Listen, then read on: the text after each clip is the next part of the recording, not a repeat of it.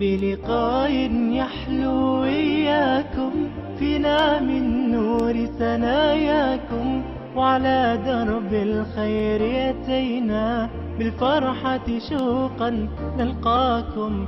أكرمنا بالخير المولى وعبير الإحساس تجلى. نزرع بالحب معاني الخير في ظل عقيدتنا المثلى.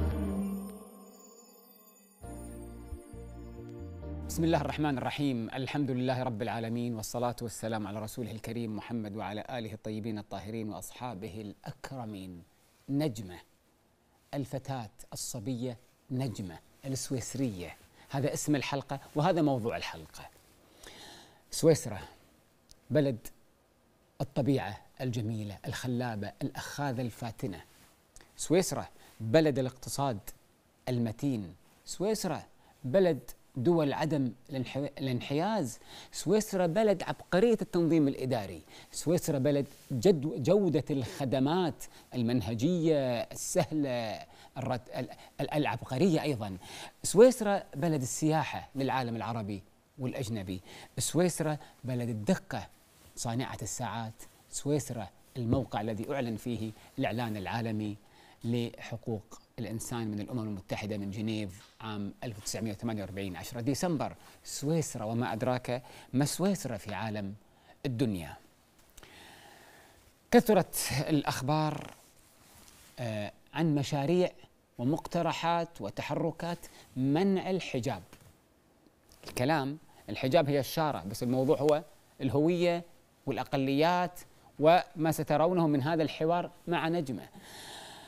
ذهبت إلى سويسرا للتحقق من خلال الحجاب والمآذن وغير ذلك على مفهوم الانتماء والأقليات والحقوق والحريات والهويات وما سترونه الآن في هذا الحوار من خلال هذه الرمزية. تبين لي بعد زيارتي لسويسرا وجلوس فيها قرابة عشرة أيام ومشاركة في مؤتمر كبير أن هنالك يمين متطرف متصاعد ينجح في الانتخابات يحقق مكاسب يصعد بمعدلات. بسبب ماذا؟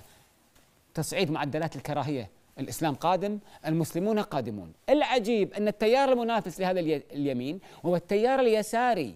أيضا بدأ يحارب الحجاب والمآذن وغيره لكن من أي باب؟ ليس من باب الإسلاموفوبيا كما هو اليمين إنما من باب الحريات. لا والمساواة. الحجاب يمنع مساواة الأنثى بالذكر. اكتشفنا بعد حظر المآذن انتقل المشروع إلى حظر الحجاب في المدارس وبدأوا يستخدمون قضية المحاكم وتصعيد القضايا ثم وبعد ذلك التصويت في الانتخابات. المشروع في حظر الحجاب بدأ ينتقل إلى الولايات اللي الكانتونات اللي معروف فيها والمحافظات في سويسرا تركاو سنكالون أركاو سولتر إلى أن وصلوا إلى بيرن. عملهم يصعدون في المحاكم تنتقل المحاكم إلى أن تصل المحاكم العليا. المحاكم قد تحكم بماذا؟ بعدم السماح آه، بإجراء الحكم في منع المحجبات. فشل الحكم عن طريق المحكمة أفاد اليمين المتطرف بأن يحرك الشارع. فبدأ يستثمر هذا المنع. قد تكون المحكمة عادلة ولكن ينجح عن طريق التصويت وبعد أن فشل 2013 يعني زاد من نشاطه وكانت نجمة الفتاة الصبية السويسرية التي عندما بلغت الحلم وطردت من المدرسة لأن أمها حجبتها في محافظة سانكالون والذي يدافع عنها مجلس الشورى الإسلامي في سويسرا. وذهبنا إلى هناك في رحلتنا ووقفنا على تفاصيل الحدث فنسمع حوارنا ولقائنا. مع نجمة ثم مع أمها ثم مع المحامي ثم أنتم الذين تتخذون القرار في مفهوم الدولة المدنية والدولة الحضارية والعلمانية التي تستوعب الجميع. فالدرس لبناتنا والدرس لمثقفينا فإلى هذا الحوار. لما ذهبت للمدرسة أول مرة بعد أن تلقيت خبر طردي بسبب الحجاب أحسست بظلم وعدم العدل في التعامل مع المسلمين. يحترمون اليهود والبوذيين والديانات الأخرى وليس المسلمون. هذا ليس عدلا.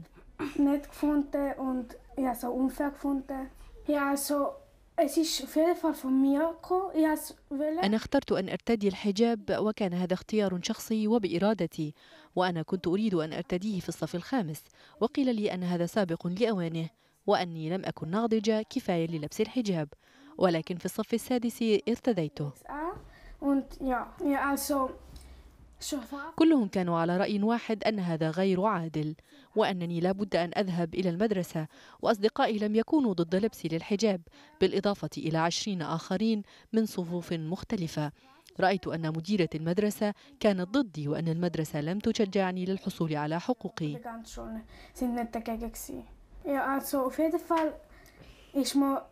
لا شك أنني أردت أن أرجع للمدرسة وأن أستمر في التعليم ولم أكن أبدا فرحة وأنا مستبعدة.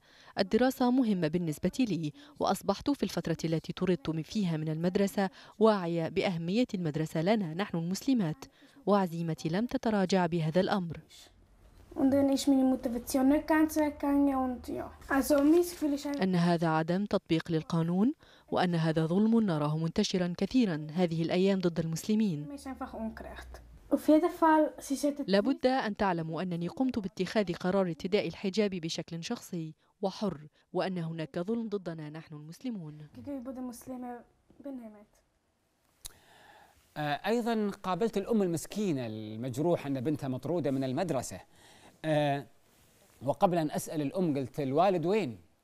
قالوا الوالد سجن مع أن كل يوم يوديها المدرسة لكن المدرسة قالت لا يأتي بابنته يقصدون يأتي بها متبرجة. فصدر في قرار بالسجن لأنه قصر في تدريس ابنته. تبلوا عليه والحمد لله آه، قبل تسجيل الحلقة صدر آه، الحكم يعني إف- الإفراج عنه بعد أن قضى شهورا في المحكمة. والآن نسمع ماذا تقول الأم عن ابنتها وعن هذا الجهاد في سبيل العقيدة والإيمان والحجاب. في السابق كنت أشعر أنني امرأة عادية وأمشي في الحديقة مع الأولاد وإلى الطبيب دون أن يتكلم أي أحد. كان كل شيء طبيعي ولكن الحالة تغيرت في السنوات الأخيرة. تفاجأت بردة فعل إدارة المدرسة لأنني لم أتوقع ذلك ولم أعتقد أن الأمر قد يصل إلى هذه الدرجة. أنا كنت أرتدي دائما الحجاب في سويسرا إلى أن رأيت أن ابنتي الصغيرة والضعيفة تهاجم بسبب الحجاب. Ich war sehr überrascht, sehr, sehr. Ich weiß nicht, vielleicht. لا أعلم ماذا أقول. لكن الحالة ليست كذلك في كل المناطق في سويسرا بل إن التسامح يوجد في بعض المناطق. مثلما سبق وقلت لك لقد فاجأتني ردة فعل إدارة المدرسة وتحول المجتمع إلى ضد الإسلام. بينما كنت أظن أنه يجب احترام اختيار الطفلة وأن ابنتي قد قامت بهذا الاختيار ويجب احترامه. هذا أمر صعب بالنسبة لي ولأطفالي ولقد غرموني وغرموا زوجي كذلك. يفتخر بابنته نجمة وبأنها ثابتة على موقفها وكذلك بطريقة تفكيرها وبطريقة مواجهتها لهذه المشكلة وكيف تشبثت بذهابها إلى المدرسة. وإننا ثابتون على موقفنا في كل المقابلات مع الشرطة والمدرسة والإدارة والسلطات. هذا ديننا وحقنا ونحن سنتحمل هذا لديننا ولنبين أن لنا حقوقا يجب أن تحترم وليس لدينا مخرجا آخر وهذا أقل شيء نقدمه لديننا.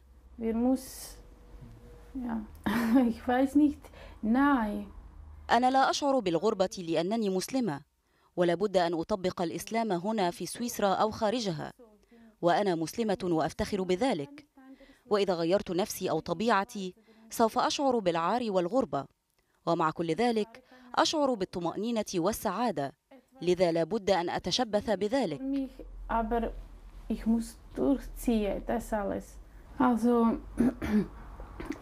من المهم أن تقوم الأم بدورها في توعية أطفالها. ويجب أن تكون واعية بما يحصل في المجتمع. ولا تخفي ذلك عن أطفالها وتبين لهم هذه الحقيقة. هناك الكثير من الأمهات يخفون الحقيقة على أولادهن ولا يعلموهم بهويتهم الإسلامية وذلك خطأ لأن الطفل يجب أن يتعرف على هويته وهذه تعتبر من مسؤولية الأمهات. وأيضا أن يخبرن الطفل أن هناك رد فعل يترتب على تطبيق الإسلام ويربين الأطفال على تحمل هذه العوائق في المدرسة وهذا مهم جدا. أنا أدعم الأطفال كلهم بنفس الطريقة ولا أندم على قراري. وأتمنى أن يلبسن كلهن الحجاب عن قرار شخصي. وأنا سوف أدافع عنهن وأدعمهن معنويا بكل طاقاتي كي يصمدن على ذلك.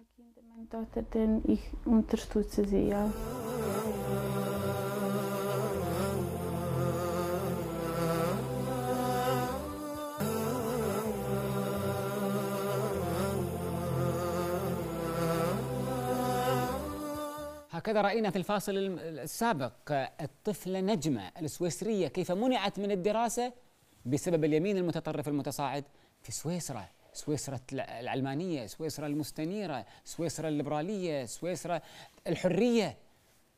ماذا صنع مجلس الشورى الإسلامي في سويسرا؟ ندب لها محاميا كبير بالسن اسمه ماركوس توشت.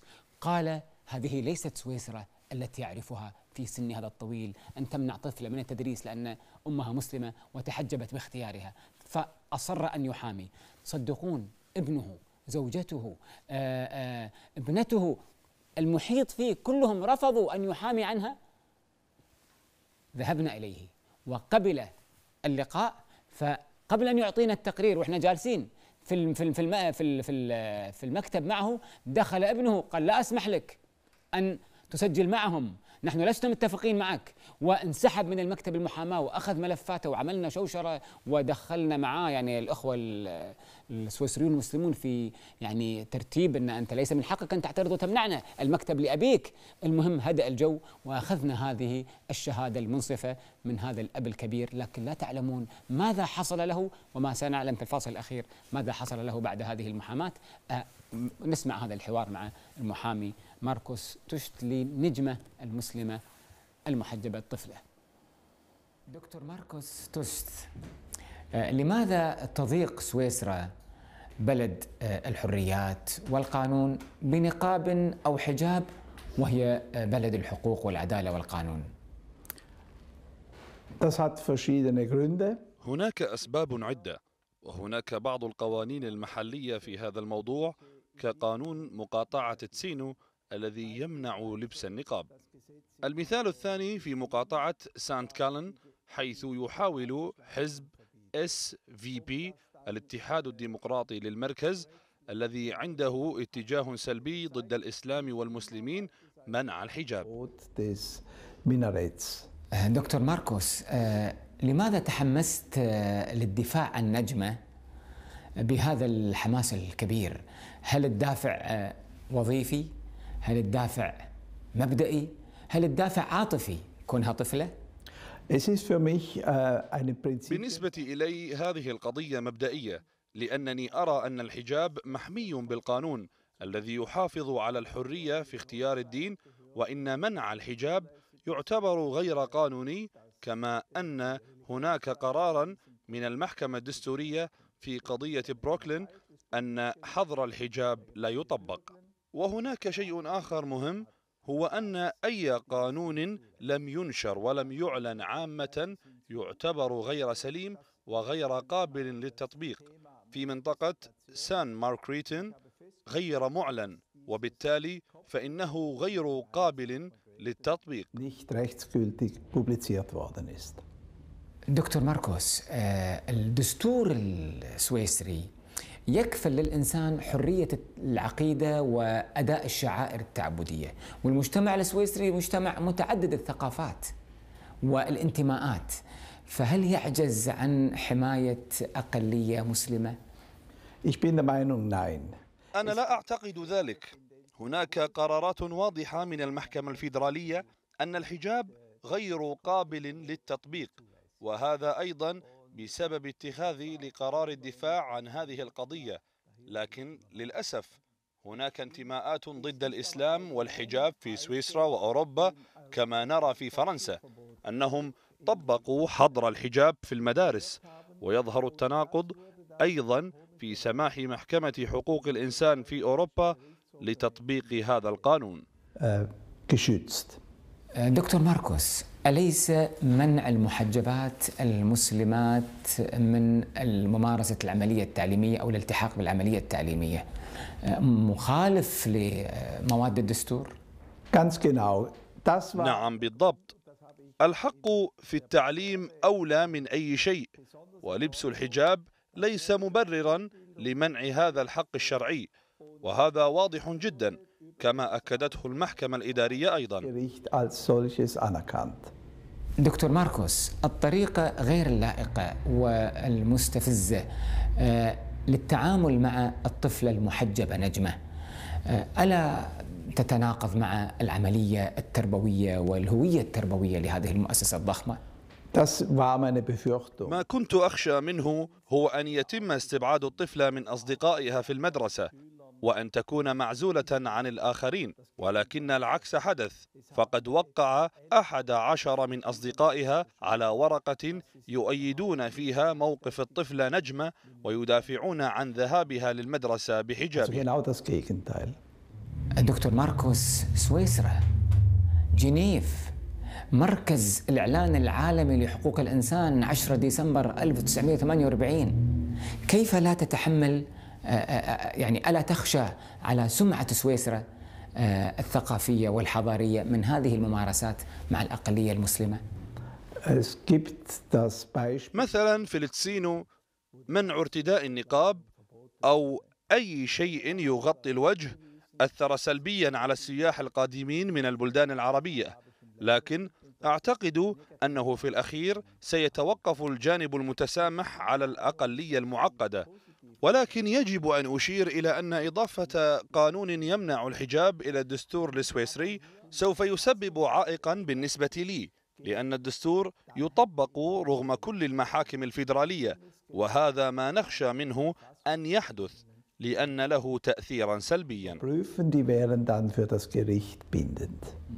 دكتور ماركوس آه، في ثقافتنا هنالك علاقة بين الاسم والمسمى علاقة إيجابية أو سلبية الاسم له أثر على الشخص. علمت أن من اسمك ماركوس آه، آه، سوست ها؟ ماركوس سوست. له علاقة بمفهوم العدالة. فممكن تشرح لنا هذا الاسم؟ عائلتي لها أصول في البندقية والاسم تسو ستو يعني بلغة أهل البندقية أنني ملتزم بالعدالة وهذا هو الحافز الأهم الذي يدفعني للتفاني في عملي. دكتور ماركوس آه، في الختام هل لك آه، من كلمة من أمنية من توجيه تحب أن تدلي به في آخر اللقاء؟ dass أنا أتمنى أن يسيطر التسامح على الجميع في سويسرا وفي الدول الأخرى وأن نصل للتسامح بأي وسيلة وأنا أشكرك. Shukran. لا يعدم أي مجتمع من منصفين من من أناس يحكمون العقل لا يخضعون للضخ الجماعي العاطفي الانفعالي التعصبي وإن كان المجتمع قانوني دستوري مدني. هذا واحد منهم. آه، العجيب ما الذي حصل لهذا الإنسان؟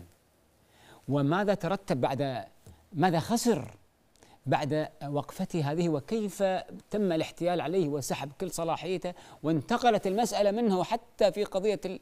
لا ليس لست أنا الذي أتكلم في الموضوع. سيكون معي في الفاصل نيكولاس رئيس مجلس شورى المسلمين في سويسرا. فإلى الفاصل القادم إن شاء الله.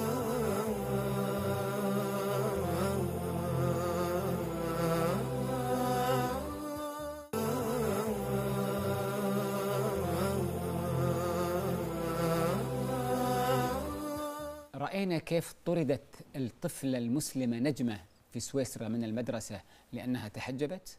سمعنا كلام المحامي مالها السويسري. آه، معنا في الاستوديو نيكولاس رئيس مجلس الشورى الإسلامي لكي يعلق ولكن قبل التعليق التقينا في سويسرا بنجاز. هذا الرجل نجاز الذي آه، هو فرنسي آه الذي يعني صنع ضجة إعلامية لأنه آه تبرع أو خصص مليون يورو. كل محجبة أو منقبة يصدر فيها قانون وغرامة هو الذي يتكفل في دفع هذه الغرامة. عملنا معه هذا اللقاء وسألناه هذه الأسئلة من آه، في هذا اللقاء في آه، سويسرا فقلت له أنت رجل أعمال ما الذي دفعك في قصة الدفاع عن المنقبات والتبرع لهن؟ ما الذي دفعك؟ فكان جوابه ما ترون. Si j'ai décidé. En 2000 إذا كنت قد قررت في عام 2010 أن أضع ميزانية مليون يورو لتسديد جميع الغرامات ضد النساء اللواتي ترتدين النقاب بحرية فإنه بناء على وجود مبادئ وحريات أساسية تعتبر مهمة جدا يجب احترامها في كل أنواع الديمقراطية. عندما رأيت أن فرنسا وبلجيكا قررا انتهاك هذه الحريات والمبادئ العمومية وبما أنني ليست لدي السلطة اللازمة لتغيير القانون لكن يمكن أن أدفع الغرامات أي إزالة مفعول هذا القانون. قررت إذن تطبيق تهديداتي باسم القانون والحريات الأساسية. وبالطبع فرنسا وبلجيكا والبلدان الأوروبية الأخرى لم يتقبلوا قراري. لذلك اتبعت ثلاث مراحل. أولا أطلقت نداء لعصيان مدني وقلت لجميع النساء المنقبات ألا يخفن وأن يخرجن إلى الشارع وأنني سأكون دائما هنا لدفع الغرامات. وثانيا وضعت محامين تحت أمر هؤلاء النساء للتقدم بشكوى ضد الدولة الفرنسية والبلجيكية والآن ضد سويسرا. كي تعرض هذه النقاط على المحكمة الأوروبية. وأتمنى إن شاء الله أن تنجح وتنتصر هذه الحريات الأساسية. Que nous obtiendrons gain de cause pour faire triompher les libertés fondamentales. سألت السؤال الثاني. قلت له ماذا كانت ردة فعل المجتمع الفرنسي والإعلام الفرنسي وسويسري أيضا في دفاعك عن المنقبات والمحجبات في أوروبا؟ فأجاب. C'est vrai que le fait d'avoir créé un fonds d'un million d'euros صحيح أن وضع الميزانية لدفع الغرامات خلق لي مشاكل عديدة. فقد سجنت لأسبوع وفي مارس عام 2012 خضعت لمراجعتين ضرائبية دولية. لأن الدولة الفرنسية كانت تريد حرماني من الوسائل اللازمة لمحاربة هذا الظلم وهذا القانون الذي لا يحترم الحريات الأساسية للمواطن الأوروبي. لقد قلت لهم مهما كانت التهديدات ومهما منعوا الحريات وأيا كانت المشاكل المالية لن أتخلى أبدا عن هذا القتال باسم la liberté. قلت له آه، نقاز كيف كانت مشاعر وردة فعل المسلمات المحجبات والمنقبات؟ من موقفك أنت من نصرتك أنت من فزعتك أنت وما هو شعورك أنت أيضا؟ تجاه هذا التبادل المشاعري في نصرة مظلومات. أنا أفتخر عندما أقول لأي إنسان أو أية امرأة لا تخافي واخرجي إلى الشارع مع أطفالك ورافقيهم إلى المدرسة. بالنسبة إلي هذا شيء مقدس. أن تقول لأحدهم أنت حر وتمتع بحريتك. وأنا أفرح برؤية هؤلاء النساء حيث أنهم لم يعدن خائفات من الخروج إلى الشارع. وبالنسبة لي هذا نصر بحد ذاته وباسم الحرية يكون هذا النصر ممكن. آه، رجل الأعمال نقاز سألته قلت له آه، أنا التقيت بك في آه، مؤتمر مجلس الشورى الإسلامي في سويسرا. ما هي رسالتك والذي دفعك دفعك في يعني هذه الفعالية والمشاركة فيها؟ أنا l'invitation. فرح بحضوري في مؤتمر المسلمين في سويسرا لكي أقدم رسالة حرية ومسؤولية في نفس الوقت. كما تعرفون سويسرا تهدف إلى منع النقاب في الفضاء العمومي. ولقد تعهدت أمام المسلمين في سويسرا وأمام المواطنين السويسريين بدفع جميع الغرامات التي ستصدر من القانون المستقبلي الذي سيمنع لبس النقاب في سويسرا. وتعهدت أيضا بأن أجعل الدولة السويسرية محل سخرية إذا استمرت في هذا الطريق الذي لا يتوافق أبدا مع تاريخ سويسرا ولا مع مبادئ الحرية في الجمهورية السويسرية.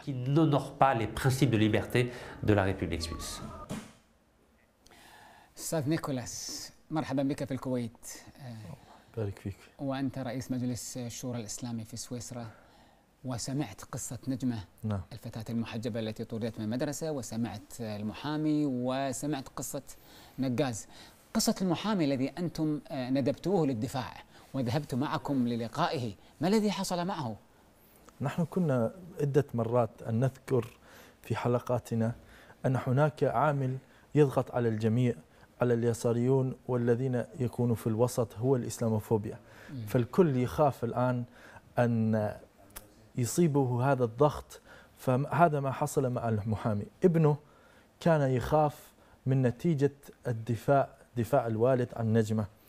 فكان يضغط على الوالد حتى يترك هذه القضية لأنه هو الابن ابن آه، ماركوس تشت. كان وما زال رئيسا لأهم حزب في هذه المنطقة وأراد أن يطلع في الانتخابات.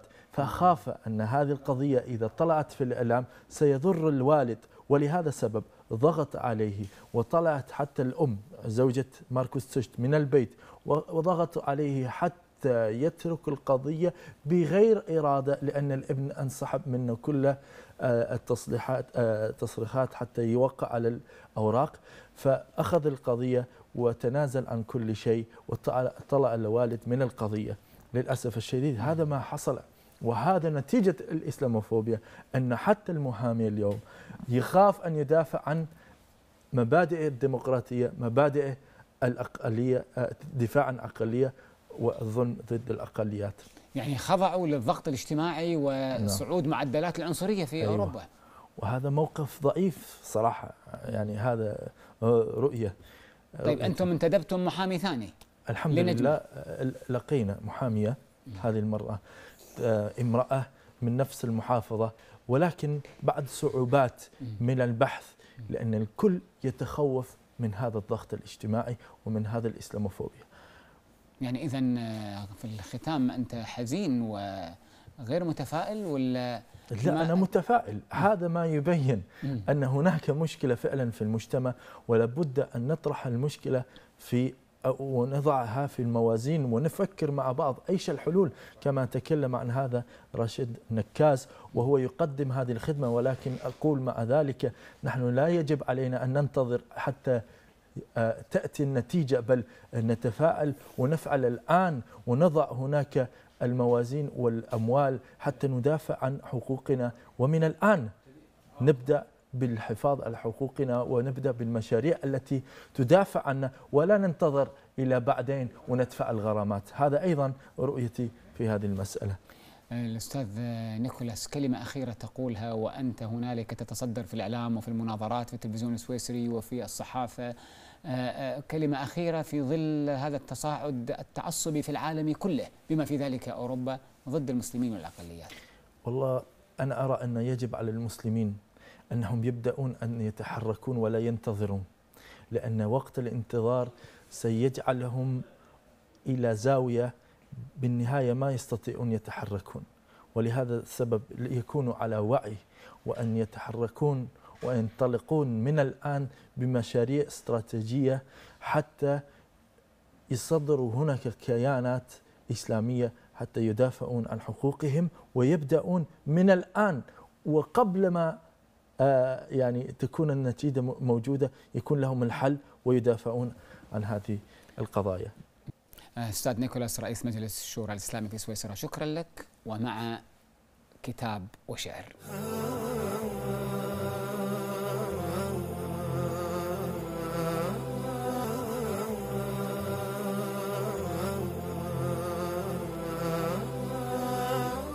كتاب اليوم عن المرأة. والذي كتبته امرأة إلا أن التي كتبته لها تجربة متناقضة للمرأة ذاتها في بيئتين في منظومتين ثقافتين متناقضتين. مؤلفة الكتاب نعيمة روبرت. أبوها اسكتلندي من جنوب أفريقيا وأمها من قبائل زولو فالخليطة عجيبة. ثم هي بعد زيمبابوي ودراستها وتخرجها وتعليمها للأطفال الرسم واستقرت مع زوجها في جنوب بريطانيا. هذه المرأة أسلمت وأسلم زوجها أيضا. فكان لإسلامها قصة دشنته الفكر في هذا الكتاب بعنوان نساء اعتنقنا الإسلام. تقول إيش شو الإضافة في كتاب اعتنقنا الإسلام؟ كل يوم النساء يسلمن ورجال. قلت له لا في إضافات. تحت العنوان طبعا الكتاب نقله إلى العربية مروان سعد الدين وطبعته مكتبة العبيكان بالرياض. تحت العنوان هو الذي لفت نظري أول ما شفته في المكتبة. آه، جريدة الديلي تلغراف كتبت كتاب مثير جدا للأفكار. يتحدى التصورات الغربية المسبقة عن النساء المسلمات. إذا لازم يكون ببالنا شيء أن هنالك عند الغرب تصور وانطباعات أولية عن المرأة المسلمة. ما هي؟ هذه المرأة تقول لك في بداية الكتاب أن هذه تجربة وسيرة ذاتية لي ولصديقاتي التي تعرفت عليهن في قصة إسلامنا. نصحح فيه مفاهيم الغرب عن المرأة المسلمة من نساء غربيات. وأنا دائما أقول خير من يشرح للغرب. هم الغرب. من لأنه يعرف طريقة تفكيره والمنظومة الثقافية التي ينتمي إليها والخريطة المعرفية التي يقيس الأحكام فيها. وتقول اتخذنا من عائشة رضي الله عنها مثالا لنا في تجربتها الطويلة كشابة ثم إلى المرحلة التاريخية إلى نهايتها. وقالت ترى ليس صحيحا أن يقال تحولت إلى الإسلام. تقول رجعنا إلى الإسلام. ليش يا نعيمة روبرت قالت لأن الإسلام هو الفطرة فنحن نعود إلى فطرتنا؟ وتتكلم هنا عن الثقافة الأمريكية التي عاشتها لأن الثقافة الأمريكية السائدة من الرقص والموسيقى والفيديو كليب والأغاني و ثم تتكلم عن أول ما صدمت بالحجاب في مصر هو الذي في مصر لما رأت الحجاب هو الذي أثارها. لماذا النساء هكذا يحتجبن؟ بهذا اللبس وما, وما دلالته؟ فكان الحجاب مفتاحا إلى تعرفها على الإسلام ثم إلى إسلامها بعكس المجتمعات المتخلفة التي ترى في الحجاب قيدا أو ثم تكلمت عن أثر القدوة لأن المحيط اللي يعني مشكلتنا إحنا اليوم أن المسلمة تعطي صورة سلبية عن الإسلام، المسلم يعطي صورة غير إيجابية عن العقيدة. ثم تدعو إلى مرافقتها في هذا الكتاب لكي تعطي انطباعا من غير تحيز وتقول يجب أن نتخلص من التح... يعني الأفكار السابقة، ثم تقول أن كتابي هذا عبارة عن احتفالية إنه احتفالية بالمرأة احتفالية بالأخوة، احتفالية بالشجاعة، الدفء والصداقة، احتفالية بالضحك، بالصبر، بالمحبة، إنه احتفالية بالإسلام، بمعنى أن الكتاب ولما جينا إلى الفصل الأخير عندما تتكلم عن الجذور والأسس، تكلمت ما الحرية التي أعطانا إياها الإسلام؟ تكلمت عن قصة أم محمد التي كانت يعني كانت تقفز على على المسارح في الفن ثم سألت السؤال تتكلم عن لماذا عشنا؟ وما المطلوب من الحياة وكياني أنا الأسئلة الوجودية الجميلة كلها فوجدت أن الحرية في الإسلام. كيف تكون الحرية في الإسلام؟ والإسلام كله أوامر وقيود. هذا ما جهله كثير من المسلمين وأفاق على معناه كثير من الغربيين. كتاب نساء اعتنقنا الإسلام جدير بالقراءة.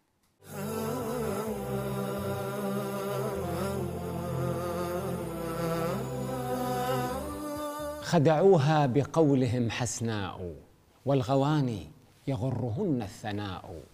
أتراها تناست اسمي لما كثرت في غرامها الأسماء. نظرة فابتسامة فسلام فكلام فموعد. فلقاء جاذبتني ثوبي العصي وقالت أنتم الناس أيها الشعراء فاتقوا الله في قلوب العذارى فالعذارى قلوبهن هواء. الشاعر أحمد شوقي. أمير الشعراء في قصيدته خدعوها في ديوانه المشهور, بالشوقيات عنوان القصيدة الجميل شنو؟ خدعوها وإحنا اليوم كثير ما نسمع كلمة خدعوها لكن الخداع دائما يكون بماذا؟ بالكلام وأي كلام؟ الكلام الدافي لذلك قال جاذبتني ثوبي العصية وقالت أنتم الناس أيها الشعراء. لأن الشاعر يختار الكلمات ويرسم العبارات ويعطي التشبيهات ويدغدغ المشاعر ويطلق الخيال. فشبكة صيد واليوم البنت سماعية بخلاف الرجل بصري. قضية الفروق الفردية اللي يدرسونها في علم النفس الفارق. بعدين يقول فاتقوا الله في قلوب العذارى فالعذارى قلوبهن إيش؟ هواء. بمعنى أن أرجع إلى القصيدة مرة ثانية لكي أذكر بكلمة سمعتها في شبابي في الثانوية من شيخنا حسن أيوب. إيش قال في البداية؟ سمعوا يا بنات ما لا داعي كل يوم نسمع خدعني غشني سجلني. ولا في داعي نسمع إن والله الأبو طاح على بنته ولا الأخت اكتشفت أختها قاعدة تكلم واحد وليش؟ لا طيب هذا غير قاعد ينصحني يقعدني صلاة الفجر. ما هو الشيطان قاص عليك وعليه. قال خدعوها بقولهم حسناء. والغواني يغرهن الثناء. نظرة فابتسامة فسلام فكلام فموعد فلقاء. هذا أو هذا الشيخ حسن إيش كان يقول لنا؟ ده كان زمان دلوقتي نظرة فلقاء مباشر. خلصني. ما في. عصر السرعة. يعني حتى الأغاني أول المغني يلحق البطلة ولا المحبوبة ويتوسل لها وهي تتمنع. اليوم لا فيديو كليب ترقص لحم تحت رجلينا. تختار اللي تبي. إحنا مادة استعمالية استهلاكية. لحم خام بضاعة مكدسة. في الطريق كفتة قصاب. قصيدة بسيطة جدا ومعبرة. خدعوها بقولهم حسناء والغواني يغرهن الثناء.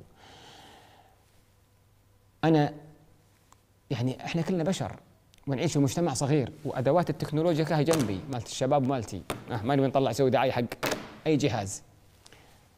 ما لم يكن على الإنسان رقيب من الله سبحانه وتعالى. وقال الشاعر فاتقوا الله في قلوب العذارى.